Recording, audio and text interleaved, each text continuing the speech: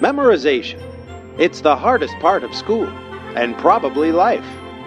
But remembering facts can be easy and fun too, with a little help from something called mnemonics.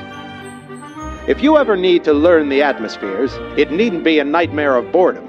Troposphere, stratosphere, mesosphere, thermosphere, exosphere can be learned this way. The straight man's testicles exploded.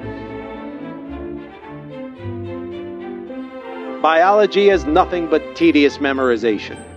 But mnemonics can make even the circulatory system heart, arteries, capillaries, veins easier to remember as Henry's always craving vomit.